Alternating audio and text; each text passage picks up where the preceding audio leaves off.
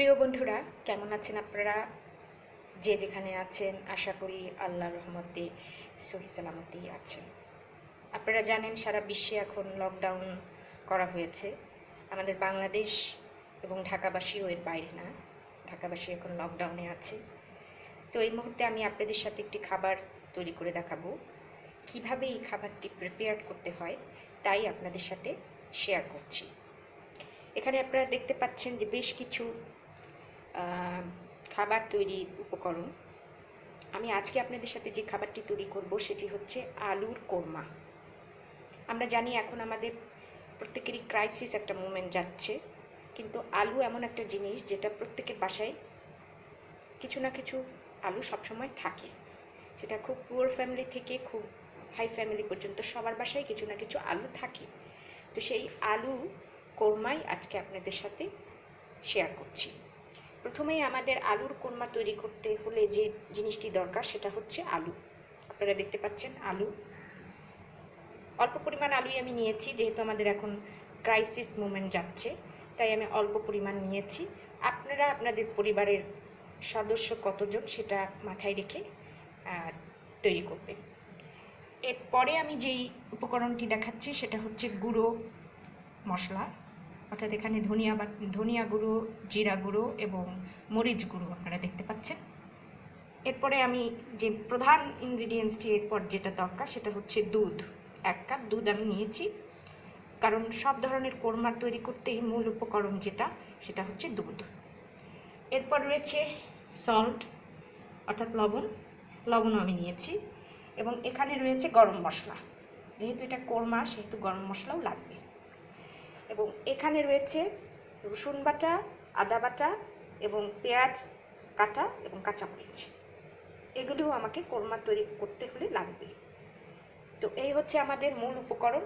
এই সামান্য কটি উপকরণ দিয়েই আমরা আমাদের আজকের আলুর কোরমাটি তৈরি করব। বন্ধুরা, আমরা এখন রান্না শুরু করে দেব।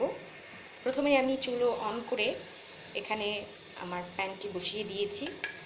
তাওয়াটি বসিয়ে দিয়েছি। এখন আমি এর মধ্যে অল্প পরিমাণ সাদা, অর্থাৎ এক টেবিল চামচ পরিমাণ সাদা তেল দেব।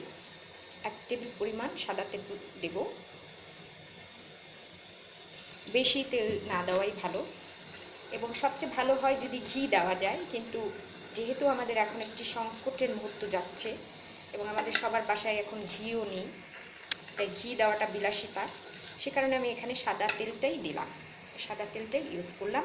এবং আপনারা সাদা তেলটাই খুব সহজেই দিতে পারেন এই আলু কোরমার মধ্যে। তো আমি তেলটুকু দিয়ে নিয়েছি। এক টেবিল পরিমাণ, এক- টেবিল চামচ পরিমাণ সাদা তেল আমি দিয়ে দিয়েছি এবং এই তেল বেশি হলে কিন্তু ভালো হবে না, তাই পরিমাণ মতোই দিতে হবে। এখন আমি আপনাদেরকে দেখাবো অন্য যেই উপকরণটা এখানে দিতে হবে সেটা। প্রথমেই আমি যেটা দেব সেটা হচ্ছে আদা বাটা। এই আদা বাটা দিয়ে দিতে হবে। কেননা কোরমার প্রথমে আদা বাটা দেওয়াই ভালো, আদা এবং রসুন বাটা।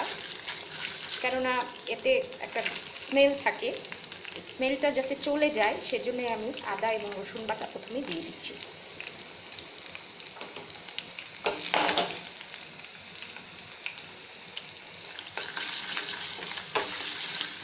আদা এবং বাটা প্রথমেই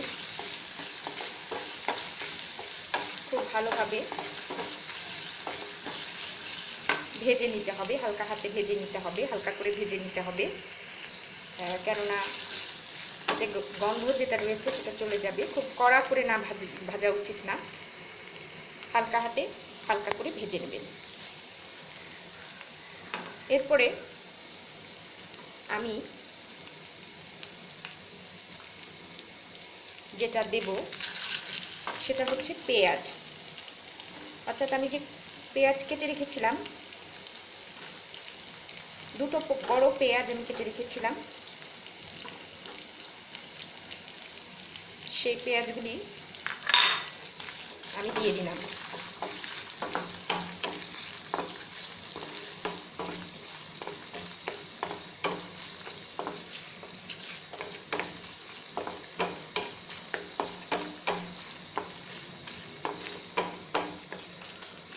দুটো বড় পেঁয়াজ আমি কেটে রেখেছিলাম, সেটা আমি দিয়ে দিয়েছি। এখন এটা কিছুটা হালকা হাতে ভেজে নেব। বন্ধুরা, আমাদের এই পেঁয়াজ এবং আদা রসুনটা মোটামুটি এখানে ম্যাশড হয়ে গেছে। এখন আমরা আলুটা, অর্থাৎ যে আলু দিয়ে আমরা কোরমা বানাবো, সেই আলুটা আমরা এখানে দিয়ে দিলাম। এবং আলুটা আমরা হালকা করে ভেজে নেব।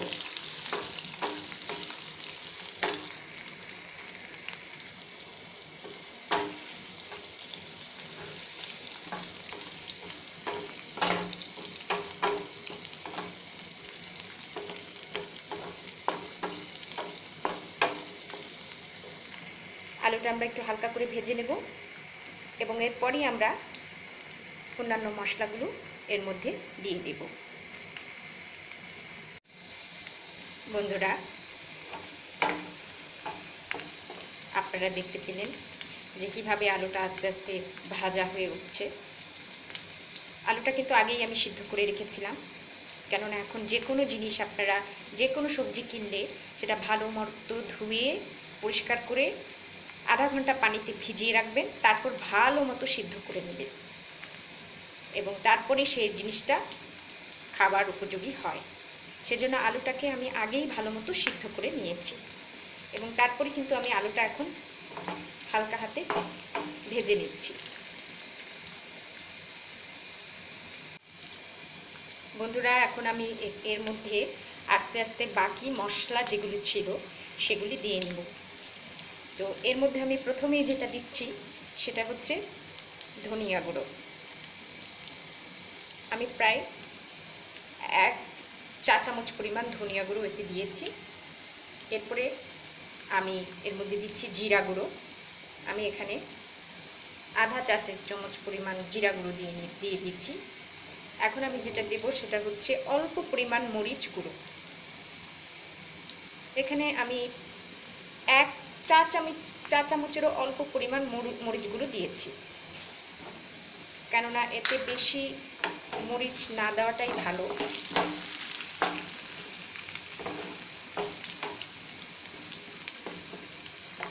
কেননা বেশি মরিচ দিলে পরে এটা হয়তো খেতে অতটা ভালো লাগবে না।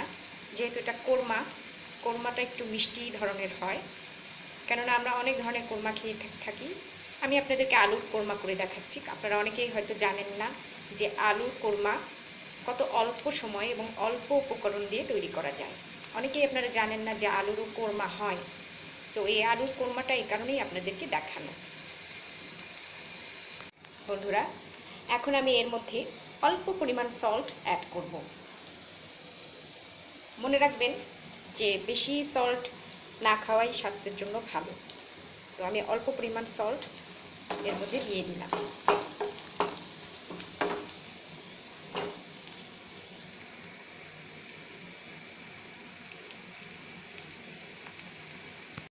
সল্ট দিয়ে দেওয়ার পরে আমি এর মধ্যে কাঁচামরিচ দিয়ে দিয়েছি। এবং এখন আমি এই আলুর কোরমার মধ্যে সবচেয়ে গুরুত্বপূর্ণ যে ইনগ্রিডিয়েন্ট সেই ইনগ্রিডিয়েন্টটি দেব, আর সেটা হচ্ছে দুধ। এখন আমি এই আলুর কোরমার মধ্যে এক কাপ পরিমাণ দুধ দিয়ে দেব এবং কোরমার মধ্যে সবচেয়ে গুরুত্বপূর্ণ ইনগ্রিডিয়েন্টটি হচ্ছে দুধ। তো আমি এক কাপ পরিমাণ দুধ এর মধ্যে ঢেলে দিচ্ছি।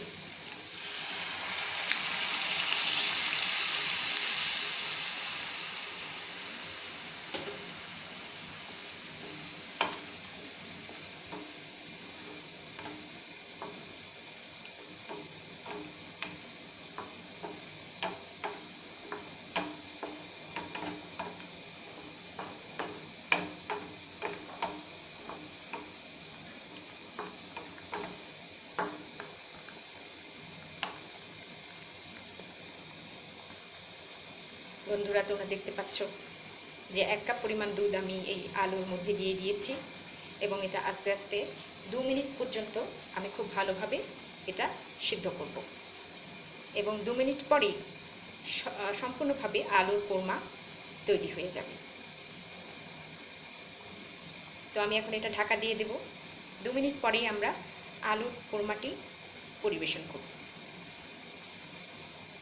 বন্ধুরা আলুর কোরমাটি মোটামুটিভাবে তৈরি হয়ে গেছে। তবে তার তার আগে আমি এর মধ্যে গরম মশলা, অর্থাৎ তেজপাতা এবং দারচিনি এবং লবঙ্গ অ্যাড করলাম। তেজপাতা, দারচিনি, লবঙ্গ অনেকে নাও, না দিলেও চলে। এটা মূলত স্মেলের কারণে। কেননা এটা যেহেতু একটা শাহি খাবার, কোরমা, সেহেতু গরম মশলা এর মধ্যে না দিলে কোরমা ভাবটা ঠিক আসবে না। সে কারণেই আমি এর মধ্যে তেজপাতা এবং দারচিনি লবঙ্গ দিয়ে দিয়েছি। আপনারা চাইলেন না চাইলেও দিতে পারেন, নাও দিতে পারেন, সেটা আপনাদের ইচ্ছের উপর নির্ভর করে। বন্ধুরা, আমাদের আলুর শাহী কোরমা এখন সম্পূর্ণ তৈরি। আলু দিয়ে কীভাবে কোরমা তৈরি করতে হয় তা এতক্ষণ আপনাদের সাথে শেয়ার করলাম। আশা করি আপনারাও বাসায় আলুর শাহি কোরমা ট্রাই করবেন। আপনারা আলুর শাহি কোরমা, ভাত, পোলাও, রুটি, এমনকি পাউরুটির সাথেও খেতে পারেন। আলুর শাহি কোরমা সব কিছুর সাথেই খুব ভালো যায়। এতক্ষণ আমাদের সাথে থাকার জন্য আপনাদের অনেক ধন্যবাদ।